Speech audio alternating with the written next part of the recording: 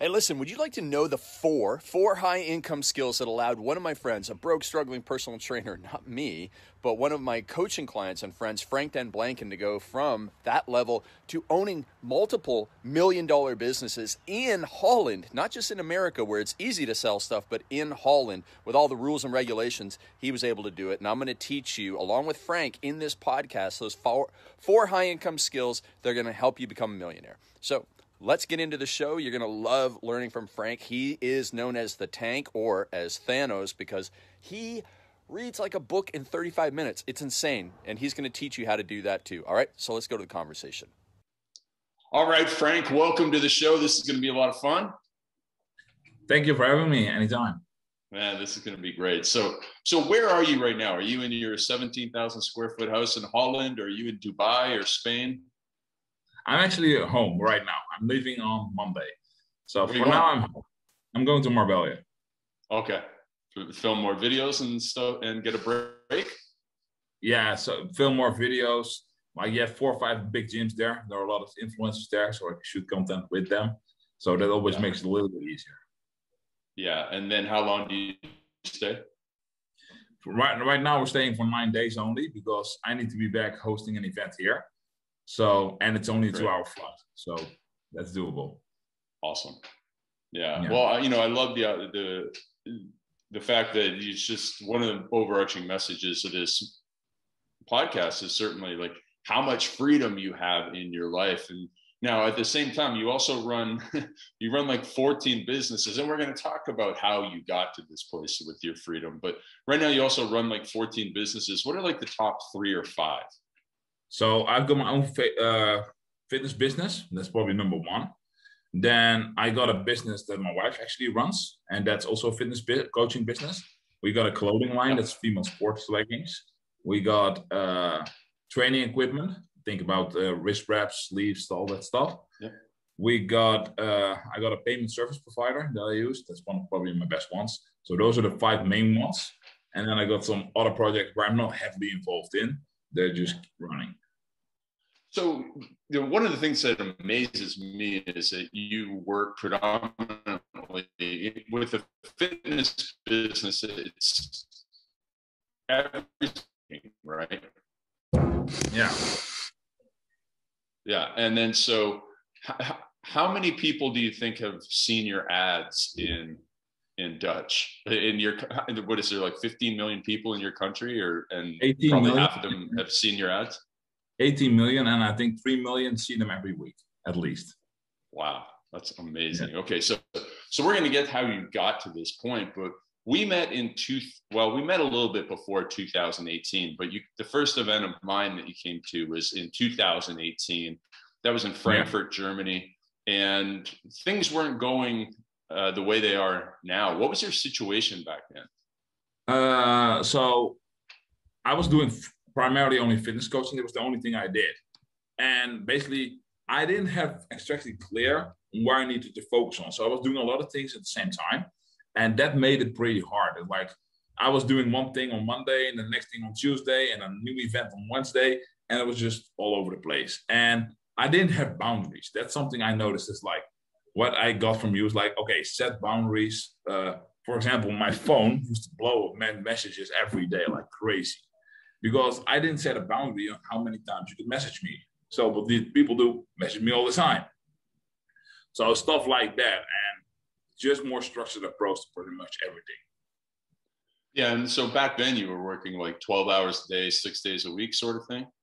Uh, every day, and I think I got up at like 6 a.m. and I think I finished at like 11 p.m. And I just did that every day. Now, when you're in that situation, what's what's the first you know switch that flips or thing that you did that you know obviously putting boundaries in there helped, but what else was like the big mover that allowed you to then have more time to work on building the business? So what I noticed is like I was doing a lot of things, and you did an assignment. I remember that. I think there was uh, the girl from Malta as well that was there. I remember that. Oh yeah. And yeah, we were doing the assignment. I was like, why do I do this project? Because this is the one that's making money. And the other two just waste my time basically, and I barely make minimum wage doing that. So the first thing I did is I killed those and I just spent more doing the thing that was actually working and was actually generating revenue and helping me to scale. So that's basically the first thing I did. It was so clear to me. It was like, oh, I'm just not doing the things I should supposed to be doing. Yeah, and so now your business is is largely driven by Facebook ads to webinars to sales calls. What was like the first domino that was you worked on that allowed all of those things to improve? Was it the Facebook ads, and how did you make time uh, for it? And what was like something that really helped? Okay, the first step was uh, optimizing the backend, so the fulfillment of the coaching was more automated. So I actually got time to to spend on marketing and sales because I think you said it or Vince said it that you, 80% of your time you spend on marketing and sales. Uh, yeah, that's a Mark Ford quote from his book Ready Fire Aim. He said yeah. 80% of your time when you're trying to get a million dollars in sales, 80% of your your time needs to be spent in sales and most people are fulfilling or doing something yeah. and not spending any time in sales. Yeah, so what I did is was I did the perfect week formula and I was making my schedule and I gave them colors. I was like, okay, what's fulfillment? Fulfillment is blue, sales is going to be yellow, and marketing is going to be green. And I looked at it, I was like, the first round, I was like, that's not correct. The colors don't match up. Let me do it again. So I started switching it, and I was like, okay. And then what's the quickest way that I know skill? Like I'm, I was already decent at writing Facebook ads because I was getting leads in. So it was like, I already know that. They always say double down on something you're good at. Just keep doing that. So that's when I started buying Facebook courses like all over. And I started watching a lot of free stuff on YouTube actually, where you can find literally how to set up Facebook ads and tricks and tricks that you actually can do. And I think I spent like two, three hours a day learning how to do that. And then directly after I had the book for two hours, like trying stuff out. So you you've studied a lot of people. Who are some of your favorite people that you study for the Facebook ads, and, and especially like the free stuff on YouTube? And I know you've sent me some Alex Becker stuff. Yeah, uh, is it him and who else is there? So Alex Becker is really good. I like uh, Peng Joon on YouTube. He has great oh, yeah. videos about it. Uh, I like watching a lot of John Penberthy stuff. Um, uh, Billy Gene. I, Billy Gene, What I mostly do is I look at his ads and I dissect them. So I just write them down. I'm like, okay, that's why he did this, that's why he did that, stuff like that. Uh, Rudy Mawer, I looked a lot at. Uh, so those are probably my top five that I used. Got it. Got it. And then, so you know, you worked with uh, it's John Pemberthy or Penberthy. Penberthy. Yeah, yeah. Okay. So so you you re, you started investing in some of his stuff too, right? Like actual mm-hmm. coaching with him and going to some of his events. Yeah. So I remember I went to one of his events in the UK. It was in London. It was actually the week before I went to Frankfurt. I've flown from the UK to your place. Oh, okay. The week before. And I remember there sitting there in the audience, and John teaches Facebook ads together with a guy named Jubril. Jubril is probably the best Facebook ads uh, ads guy that I know. Wow. And Jubril was on stage. And what happened is Jubril basically opened the Facebook Ads Manager dashboard. I'm like, okay, now we're talking like he's going to show something technical. Like I've seen the screen and he started pressing button. I was like, I literally clicked every button I thought there was there to figure out what's underneath it. And he showed me stuff I couldn't find. He showed me stuff like how to do it. He even helped the female. He basically did a pitch on stage where you're like, okay, anybody in the room, raise your hand. I'll pick you out. I'll help you this weekend with your Facebook ads and show you how to do it. So a woman raised his hand and he picked her, and she was a wedding photographer in London. Mm-hmm. And he basically showed uh, how you could set up an ad for somebody who's just got engaged and who lives near her vicinity. And he got her like 34 clients booked in one weekend based on wow. that ad. It was like more than she made in the entire year. With he showed on stage how to do that. And then, so that guy, does he put out content, or is it just the uh, he puts he out content? He doesn't put out Facebook content. Yeah. He has a YouTube channel called Passport Heavy, where he does travel videos and where he makes money with affiliate marketing. Wow. And he final in a financial education business that's doing well. I think it's called Bussionista. That's doing really good, great numbers. And he's just the guy at the back end that sets everything up on ads and stuff like that. And he's amazing at storytelling. Okay. Awesome. Wow. That guy. And his name is Jabril, J A B R I L. No, Jubril, J U B R I L. Got it. Okay. Perfect. absolutely amazing. So so I love how you approach this, like double down on the thing that is working, because most people do what you were doing before, which is they see something that's not working and they spend more time on it, or they continue to do it, or even worse, they're trying to strengthen a weakness. But you looked at strengthening a strength. After you improved the Facebook ads, what was like the next domino that allowed you to scale? Was it the copy on the page, or was it going straight to the webinars? Uh, First was the backend with email marketing. So okay. improve email marketing. I did a lot of Ian Stanley stuff. Yep. So that helped a lot. Uh, so then was like, okay. And then probably was it, uh, Bedros told me, okay, you don't have a healthy business. You need more monthly recurring revenue in your business. So I added that in. That helped tremendously. And then probably when I started doing webinars, things went pretty crazy. Yeah. All right. Well, yeah. let's go back to the email marketing because email marketing, we've had Ian Stanley on the podcast. He is a super sharp uh, marketer. We, I highly recommend his book. We often recommend this book, uh, Con- Confessions of a Persuasion Hitman. What did you learn from Ian that allowed you to make your email marketing really successful? Uh, first is like how to build a relationship on email. Mm-hmm. Like I was t- basically typing valuable emails with no personality inside of it. And I was like, just let me type it more as who I am and where I'm about, and then put the value in there. And that helped tremendously. And then also like I basically barely were doing call to actions to like other programs. I was always pitching my coaching, coaching, and I had multiple programs. I'm like, let me just try to sell this because they buy don't I ain't buying this. Maybe they're interested in that. And my revenue just went up like crazy by doing that already. Got it. And then so what's an example of you putting a little bit of personality into the email like you know you were just uh, teaching so, before so what were you adding in there so for right now for example i got my dog hulk you know who the hulk is i got an alaskan malamute he's like a pretty big dog and he's like bulking like crazy because he gains about four pounds in a week right now right so i, I talk about bulking in, a, in, a, in an email and i talk about how hulk, hulk is making more progress than anybody else in my coaching program but he has better genetics. So I then I talk part about genetics, and then I pitch you a bulking ebook or a program or whatever I'm using. Got it.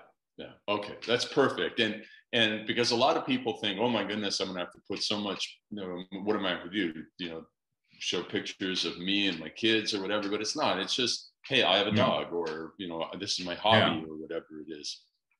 Because yeah. at the end of the day, you want you want people to say, I feel like I know you, right? And I'm sure you get that all the time. Yeah, that's something I notice Is like right now I moved to a new place, so not many people know who I am here. But when I go to the old place where I live, everybody there knows who I am. But they know the names of my partner, they know the names of my cats, my dogs. They know what kind of movies I like to watch, where I've been uh, traveling, all that stuff they know because they read the emails, they see the videos. Like people don't buy from knowledge. That's something I noticed people buy for personality, who you are. Because there might be a coach who's smarter than me. I'm sure there are a lot of them, but people don't buy from them maybe because they don't sound that funny or they're always like very strict and they're like, that's more my personality. That's why I'm signing up with them. For me, for example, I have a fitness coaching business. My wife has one.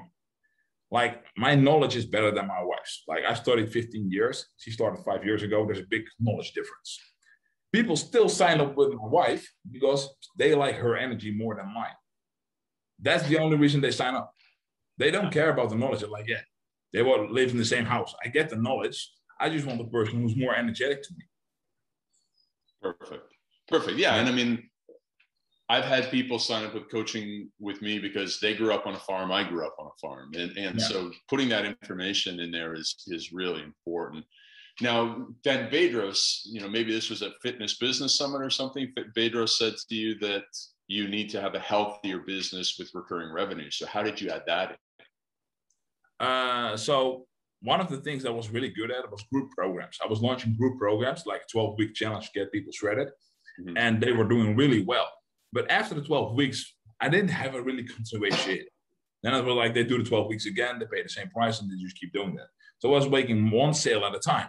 But like, so I had a big spike in one month, and then two months were low. And I want a big spike again, and then like it goes low again.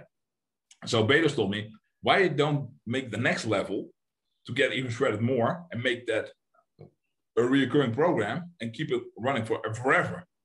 So I started implementing that, and then I started racking up memberships, and that helped more stabilize my business. So I had one big spike, and then a small drop off because my monthly recurring stayed, and then I had a spike again, and I went up to another level because those people added to the monthly recurring as well.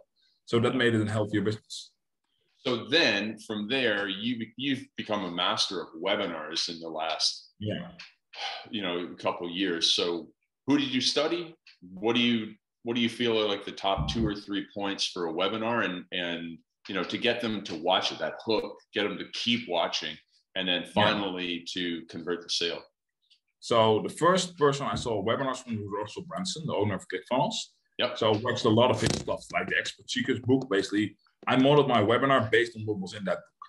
Then I read uh, One to Many from Jason Fladlien. I read that book. So I basically make the mix of both of them.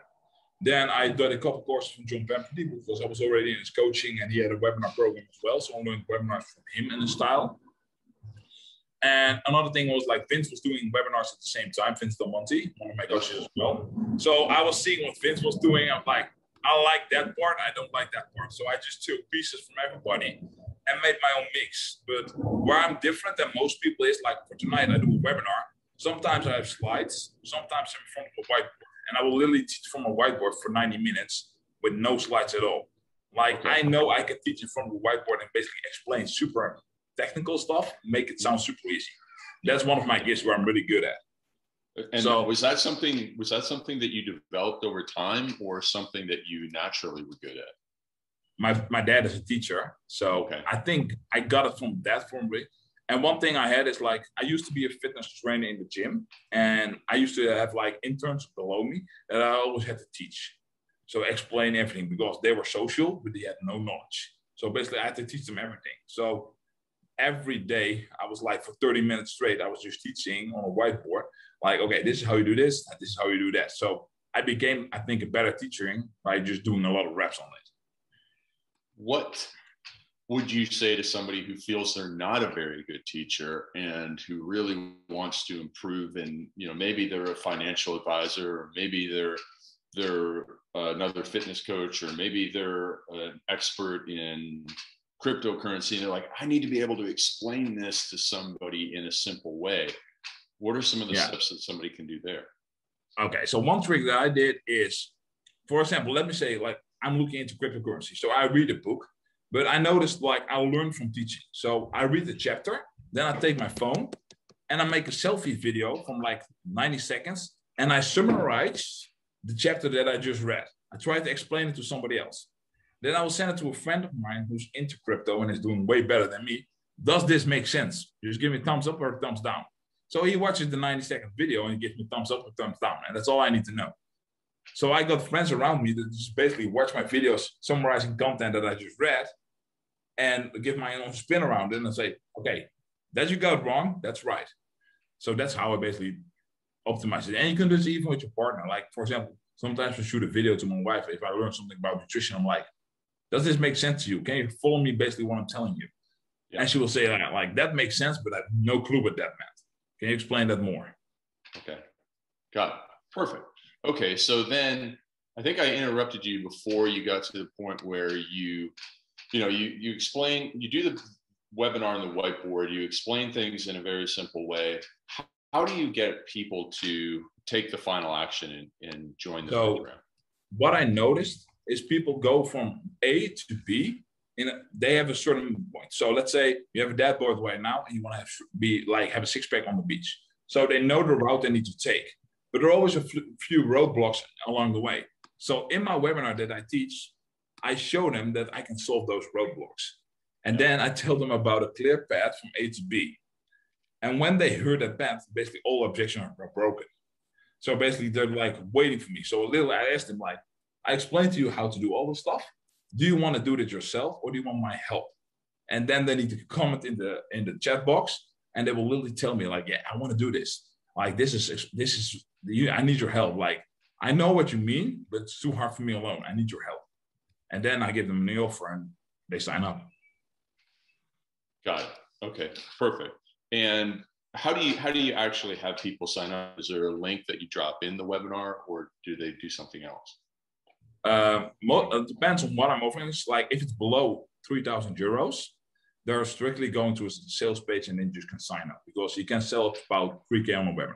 If it's above that, then they can book a call. Basically, I say this is not for sale. I'm picky. It's my one on my one on one coaching. I choose who I want to work with. So if you want, if you think you qualify, book a call. You get to go on a call with somebody on my team, and that's basically where we do the offers. That. So it's either to a sales page where they just buy. So there's a link, or it's a link to a uh, to a basically an application page. And then the link to just buy is it mostly a checkout page, or is it how does that how does that page look? Headline, it's, copy, it's testimonials. A, it's just a checkout page with okay. testimonials on one side, and basically the entire program laid out, and then there's a buy button. Okay, great.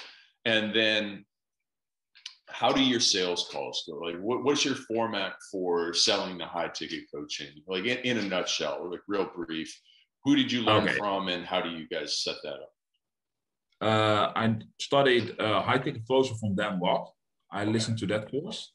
Then uh, I listened to a lot of Jason Capital stuff, mm-hmm. And I spoke to him in New York at a mastermind event, and he basically said, "If you want to become better at sales, read a lot of dating books." So he gave me four four books that I need to read. So I read those. And then it first and it was like every time you ask for a girl's number, think about asking for a sale. Just make that switch. So I started doing that and, and that helped a lot. So basically the structure that I use for sales call is first uh, we'll try to determine what the person is, where they're stuck right now. Then where's their dream, where they want to go to. So you basically create the gap. Then we'll find out what the roadblocks are and then uh, we basically start summarizing basically the present, the dream, the roadblocks, and we basically explain it better to them what their problem is than they can understand themselves. So they think the first time they actually heard somebody say, you know what I what my problem is and you know how to solve it. What was the what was the best dating book that you read that helped you with sales? I think uh, the game from Neil Strauss that was really okay. good. Yeah like certain like certain tricks. Like one thing that I liked was like he was like picking up girls and then going to three different places. So I was like, okay, if I want to have a new client, he needs to follow me on three different platforms. So there can be email, it can be YouTube, and it can be Instagram, for example. Yeah. Then the chances of me getting a successful client is way higher than they just follow me on one platform. So I started implementing all of those stuff, and it helped a lot. Oh, that's really awesome. So what you would do is you would put in your email to have people go onto your Instagram or your YouTube, or what yeah, would you so do we, to get them to, to spread themselves up that way?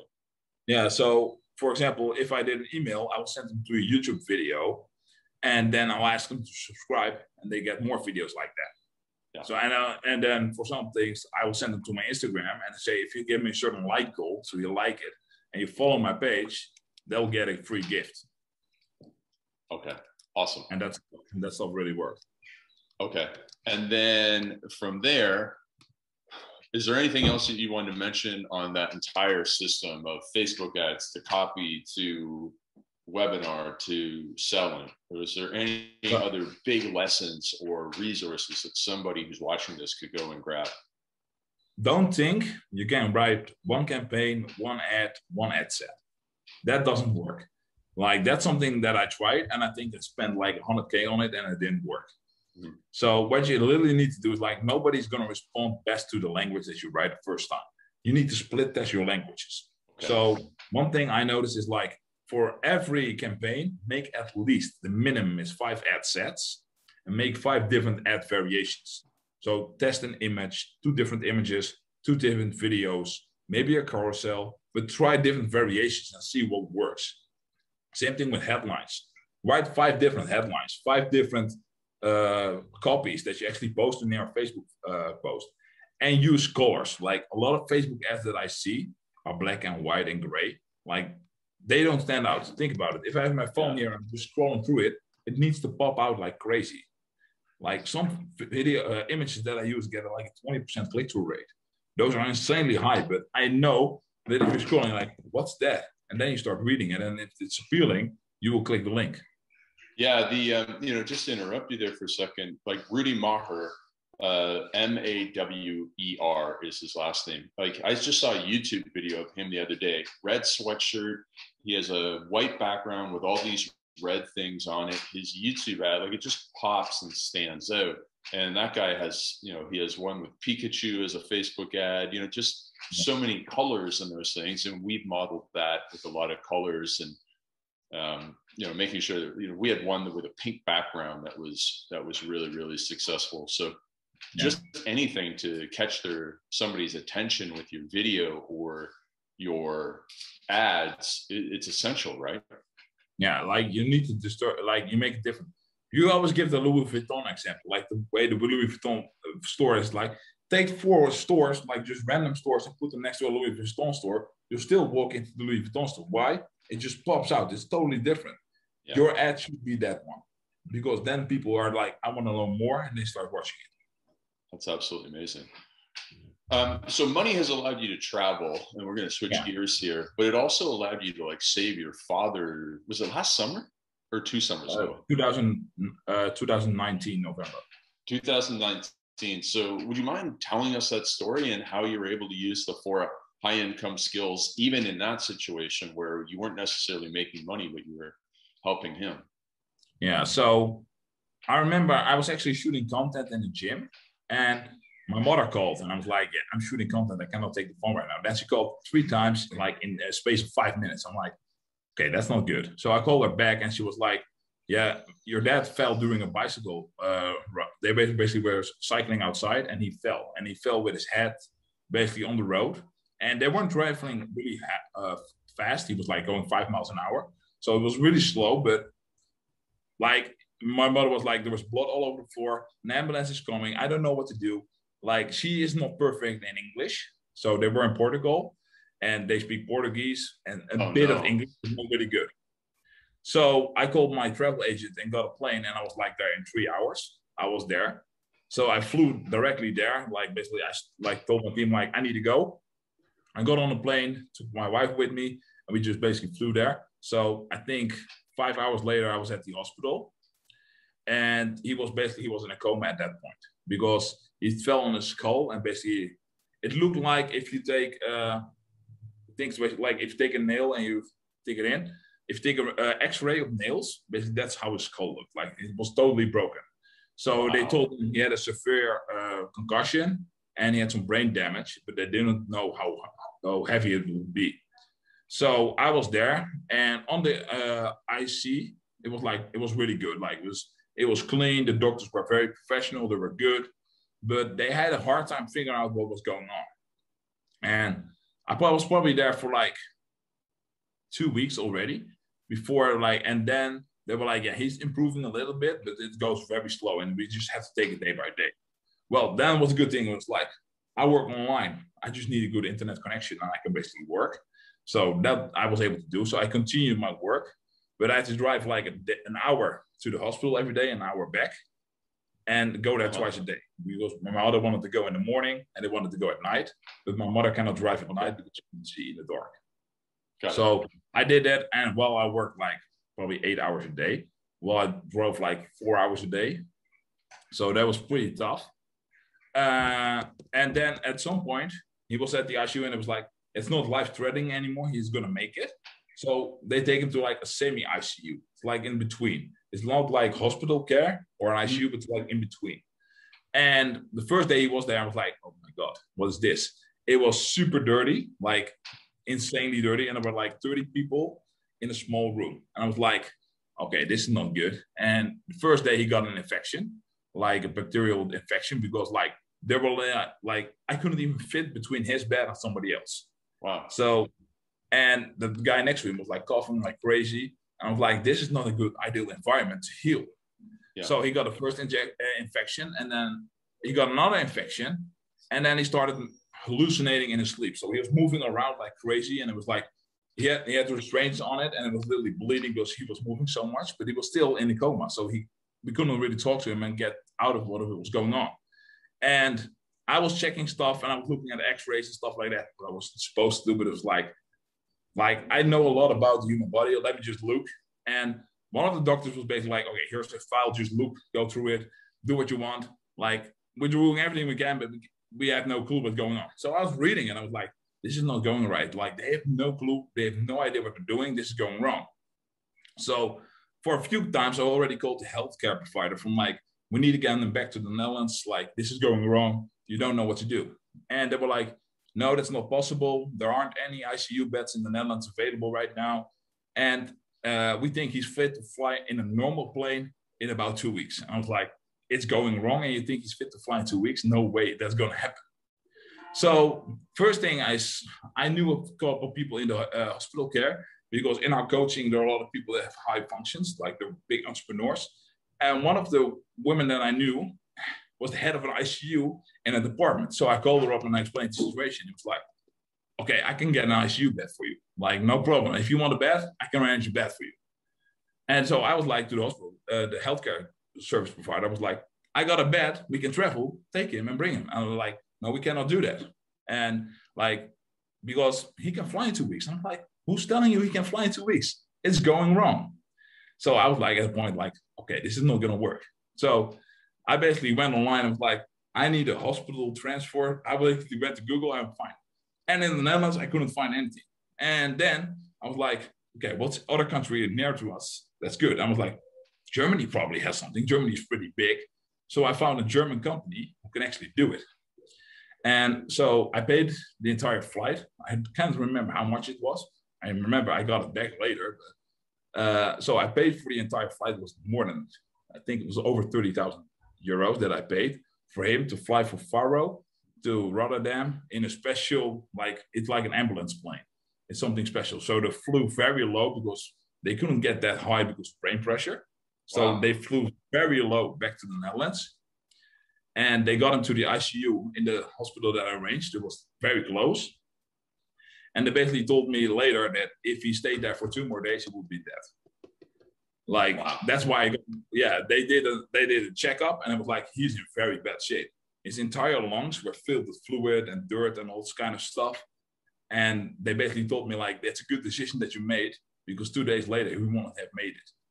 So basically, the healthcare provider had to pay me back like a lot of money, and they basically told me like, "Oh, you did a good thing."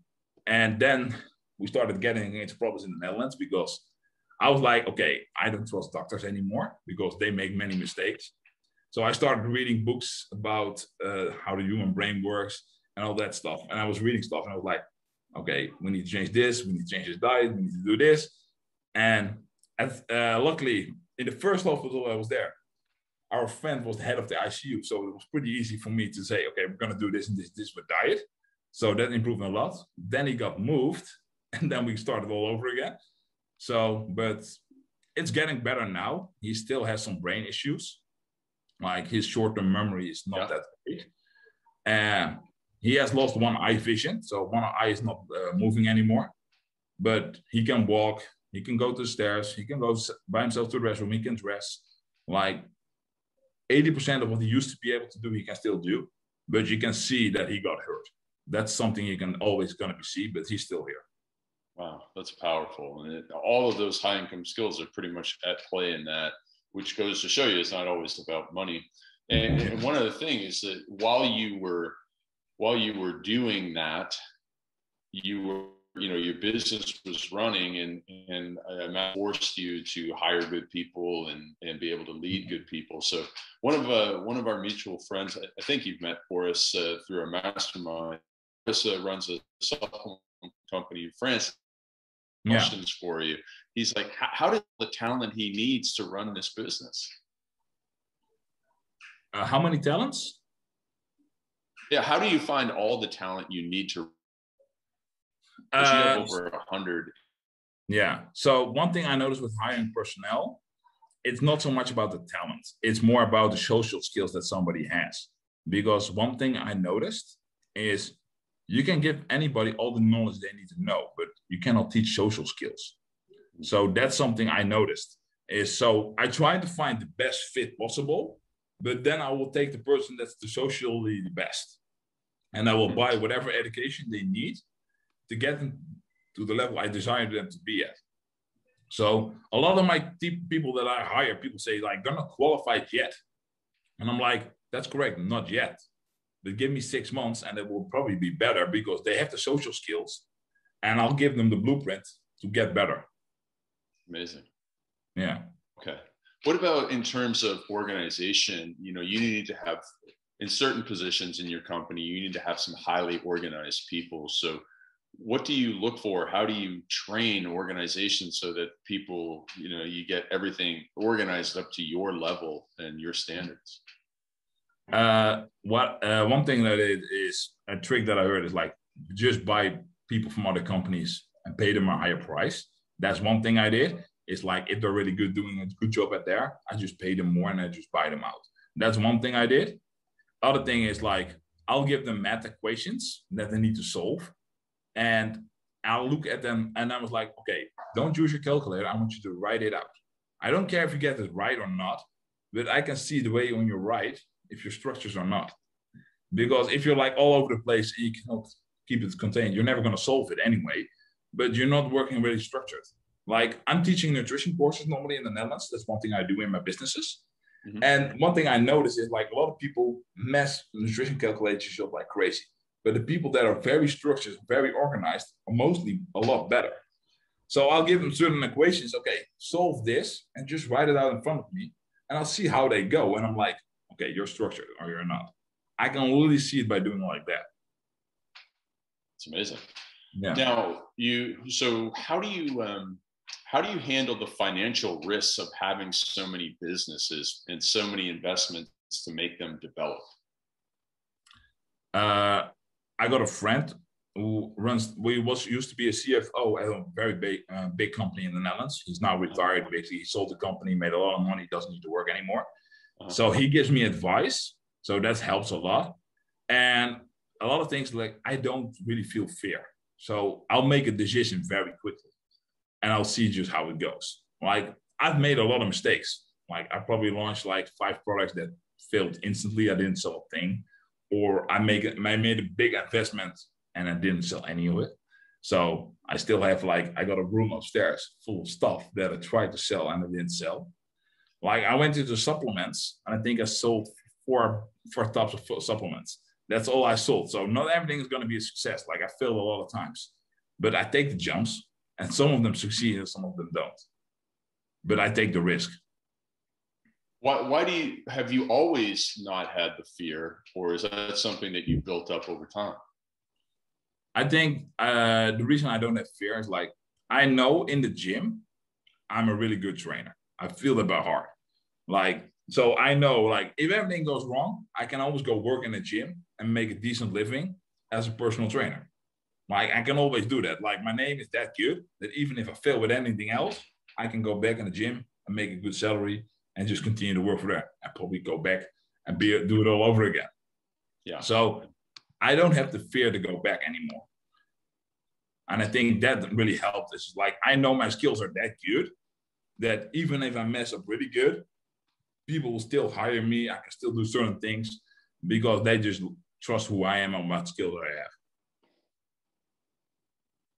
Got it and then how do you find the people to run the other businesses that you're not involved in on a day-to-day basis uh, most of them come from my fitness coaching business and i uh, and i work with them for a long time so i have a level of trust with them mm-hmm. and then i know like okay this person is really good at managing this kind of stuff if i give them this assignment and they are okay with it and they find it a nice challenge they're going to do an amazing job so they always start off in the fitness coaching business first, and then they move up to a new level and they start doing other stuff.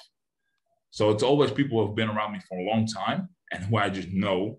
And I know for the fact, like, if I give you this, you will do it. Like they've proven that. Awesome, man. Man, you just have so much going on. Uh, what's your morning routine and what have you done uh, that has worked for your productivity and what hasn't worked for your productivity? Uh, so it starts the night before. So one thing I'm a firm believer of is the red gla- orange glasses for sleep, and then I make my to-do list. I make them on my phone because my handwriting isn't that great. On the phone, I can actually read what I wrote. Uh, so that's what I, have a to-do list. I only write down three things that I need to accomplish today. I don't write 25 things because I don't get that done. What I'm like, is I write down three things and I get them done. Anything extra is a bonus. Like I know if I take the first block in 30 minutes, I can knock those three things out. I've done I have a good day, and then anything else is a bonus. So basically, that's how I start. So yeah. I wake up around 5 a.m. I'll drink two uh, shaker cups of water to hydrate. Um, and then I'll start doing my first three tasks of the day. That can be writing copy, uh, building a new program, building a new webinar, optimizing a webinar, stuff like that that I'm doing at the moment. It's always a task that will help my business generate uh, more income and go to the next level. Okay. Yeah, uh, super, super powerful. Yeah. So that's my first block, and it's about 30 to 45 minutes. Sometimes it's 45. Like if I'm in the zone, I can probably go for 45 minutes straight without anything.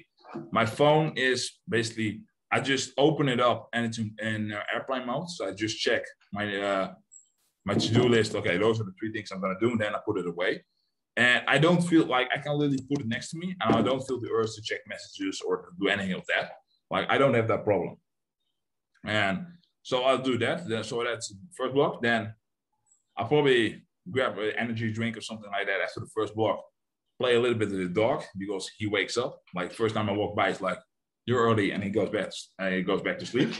and then then 45 minutes later, he's probably a little bit more awake and he wants to go outside, do his thing, and then come back. So I play, play with him for five or 10 minutes. Then I do my second block, and that's also about 45 minutes. And those are new projects that I'm just thinking about and trying to evolve.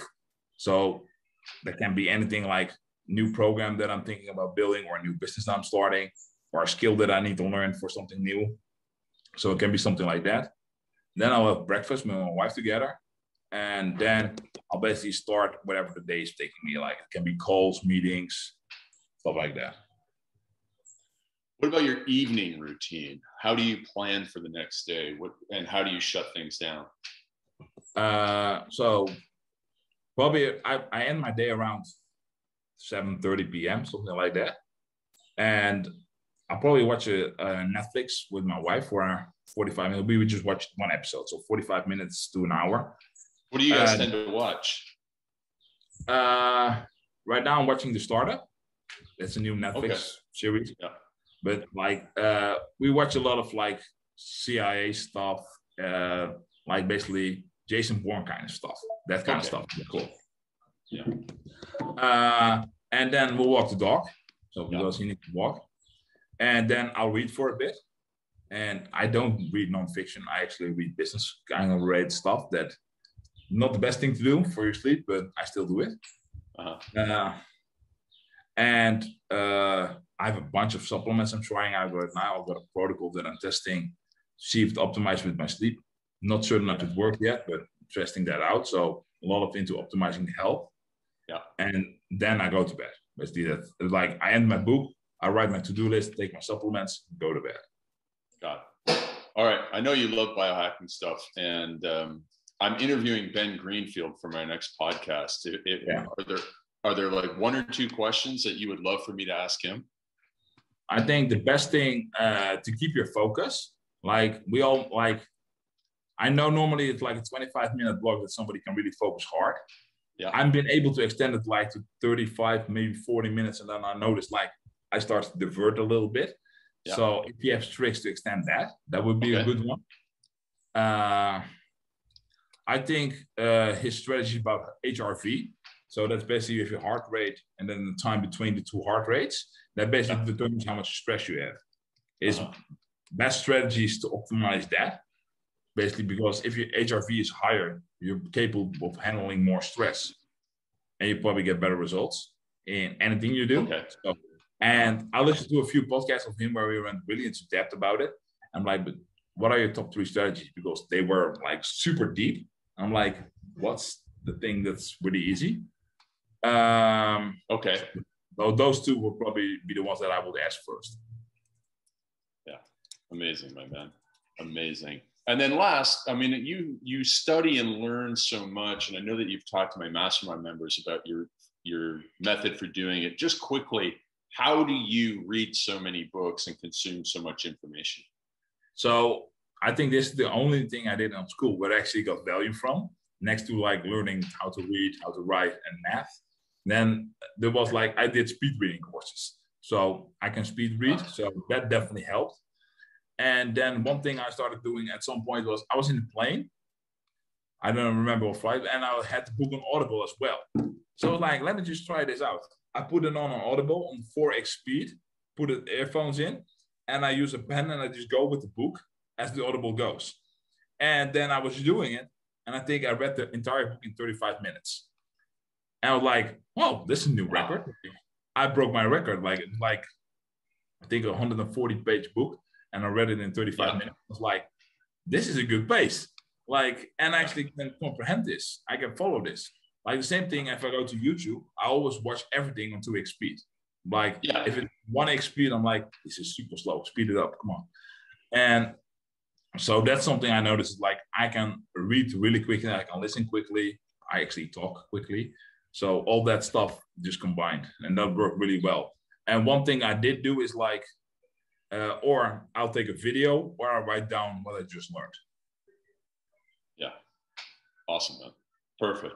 Frank, this has been amazing. And I'm glad you talked really fast because we covered a ton of stuff. Uh, I'm going to make all of my team watch this because it's super helpful and download to them.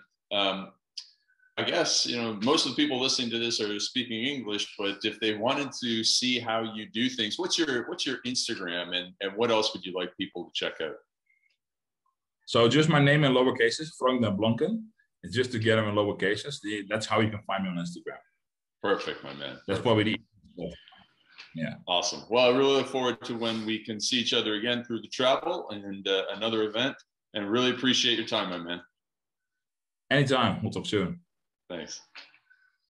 I told you that was going to be an insane interview, and that absolutely was. Now, it's amazing what Frank's been able, to accomplish just in a couple of years of working with me. And as he mentioned, he 20xed his business in under a year and dropped his work hours by about 40%. If you want that too, then click the link in the description below to apply to work with me, and I'll help you build the freedom and life that you want. I know this, here I am on my farm with all the space in the world, and I want you to have all the space and freedom in the world too. So just click that link down below and comment and let us know what you thought of today's episode.